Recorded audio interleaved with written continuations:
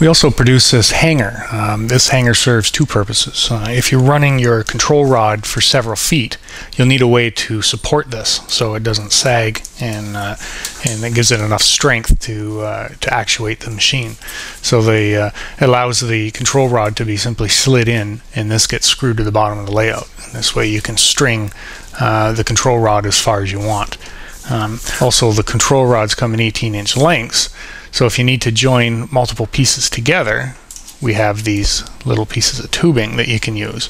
And they just simply slide the control rod on it like that. And then using this hanger, it will support that joint like this.